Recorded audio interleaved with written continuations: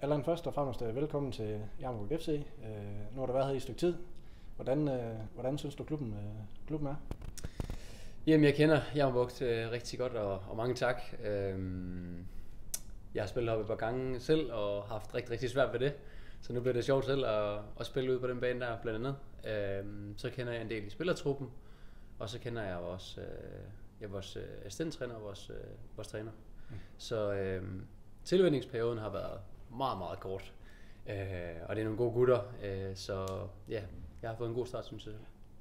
Og nu, øh, opstarten her, den er altid lang. Øh, du har sådan en skadespause i efteråret, øh, så, så jeg tænker, du er vel ekstra sulten for at komme ud og spille nu? Ja, det er ganske korrekt. Øh, når man er skadet i så lang tid, som jeg var, så begynder det at blive nogle grå dage, og ja, det var sgu lidt hårdt, for at være helt ærlig. Øh, så jeg ser rigtig, rigtig meget frem til at komme på banen og, og, og være der, hvor det virkelig tæller, og, og vise, at, øh, at jeg er klar, og at, øh, at jeg skal ud og præstere og vise, hvem jeg er. Så det ser jeg i høj grad frem til.